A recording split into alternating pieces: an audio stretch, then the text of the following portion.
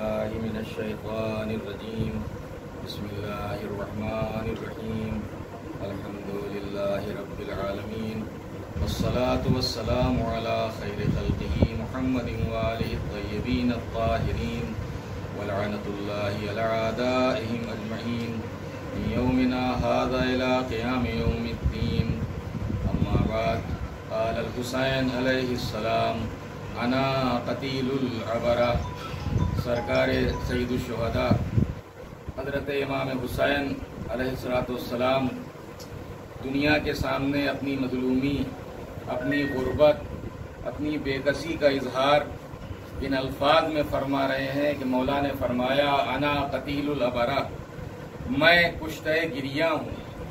میں ایک ایسا قتل ہو جانے والا ہوں جس پر آنسو بہایا جائے، جس پر رویا جائے، جس پر ندبہ کیا جائے اپنے تمام چاہنے والوں سے، اپنے تمام ازاداروں سے، تمام ماتمداروں سے، تمام سوگواروں سے امام نے کوئی فرمائش نہیں کی۔ صرف دو فرمائشیں ہیں کہ غریب سے غریب چاہنے والا بھی اپنے امام سے ان فرمائشوں کو پورا کر کے عقیدت کا اور محبت کا اظہار کر سکتا ہے۔ فرماتے شیعتی ما ان شریف تم بن فسکرونی ہے میرے دوستو، جب ٹھنڈا پانی پینا، تو میری پیاس کو یاد کر لینا اور جب عالم غربت میں کسی مرنے والے کی خبر سننا، تو میری بے کسی پہ آنسو بہا لینا شیعتی ما ان شریف تم ما بن فسکرونی اور سمے تم بے غریب اور شہید بندمونی اور جب بھی عالم غربت میں پردیس میں کسی مرنے والے کی خبر سننا تو میری بے کسی پر آنسو بہا لینا۔ آج حسین کی ایک ماتم دار، حسین کی ایک ازادار، حسین کی ایک سوگوار، ایک فاطمہ کی کنیر اس دنیا سے رخصت ہوئی ہے۔ خبر سنتی عزہ بھی آ گئے بھی آ گئے چاہنے والے بھی آ گئے۔ اولاد کو تعزیت پیش کی جا رہی ہے، بیٹیوں کو پرسہ دیا جا رہا ہے۔ شوہر کو تسلی دی جا رہی ہے۔ لیکن احکام شریعت بھی ہیں کہ دیکھو اگر کسی گھر میں کوئی سانحہ ہو جائے تو جاؤ، صاحبان ازا کو پرسہ دو۔ ان کی خدمت میں تعزیت پیش کرو۔ دیکھو، تین دن تک اس گھر میں کھانا بھیجو۔ تمہارے ہوتے ہوئے ان کو زحمت نہ ہونے پائے، تکلیف نہ ہونے پائے۔ غسل و کفن کا اہتمام اگر کوئی نہیں کرنے والا ہے تو غسل و کفن کا اہتمام کرو۔ کسی مسلم کا جنازہ بے دب نہ رہ جائے۔ تین دن تک اس گھر میں کھانا بھیجو یہ احکام شریعت، کس گھر سے احکام شریعت نے رواج پایا؟ کلیجہ پھٹتا ہے کہ جس گھر سے احکام شریعت نے رواج پایا تھا، اسی محافظ شریعت کا جنازہ کربلا میں بے گور و کفن پڑا تھا۔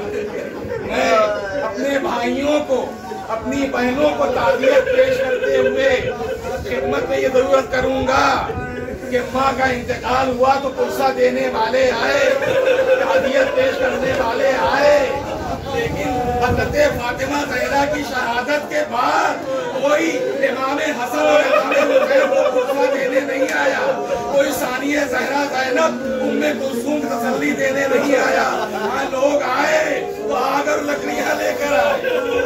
پیغمبر اکرم کی وفات کے بعد کوئی جناب فاطمہ کو پرسہ دینے نہیں آیا آگ اور لکڑیاں لے کر آئے۔ اور حضرت فاطمہ زہرہ کی وفات کے بعد ظاہر ہے کہ ایک مصیبتوں کا ہجوم ہے۔ یہاں بھی کوئی نہ تعزیت دینے والا ہے، نہ پرسہ دینے والا ہے۔ ارے فاطمہ تو اس مظلومی کے ساتھ دنیا سے گئی ہے کہ امیر المومنین نے منع کر دیا تھا۔ ارے زور سے نہ رونا، زور سے گریا نہ کرنا۔ بچے گھر میں رو رہے ہیں۔